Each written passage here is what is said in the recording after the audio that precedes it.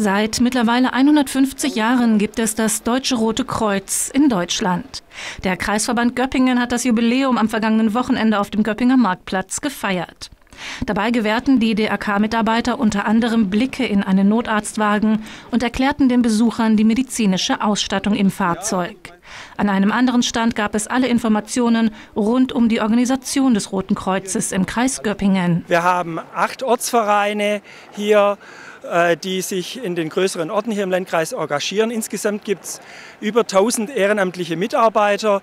Und darüber hinaus haben wir auch eine hauptamtliche Organisation mit knapp 200 Mitarbeitern, die sich im Rettungsdienst engagieren, die pflegerische Dienstleistungen erbringen, Erste-Hilfe-Kurse organisieren. Also auch da ein ganz breites Angebot. Ganz plötzlich interessierte sich aber kein Besucher und kein Fußgänger mehr für die verschiedenen Stände. Denn wie aus dem Nichts wurde aus dem Marktplatz innerhalb kürzester Zeit eine riesen Tanzfläche. Aus allen Himmelsrichtungen kamen junge Tänzerinnen und Tänzer und veranstalteten in der Stadtmitte einen Tanzflashmob.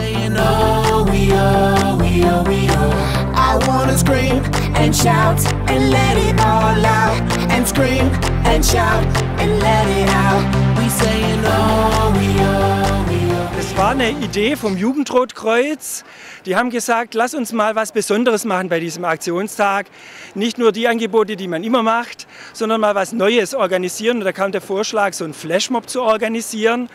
Und die Idee fanden wir ganz gut und haben die Tanzschule Bartholomei als Partner gewonnen. Genauso schnell wie die Tanzschüler gekommen sind, waren sie nach knapp zehn Minuten auch wieder verschwunden, so als ob nie etwas gewesen wäre.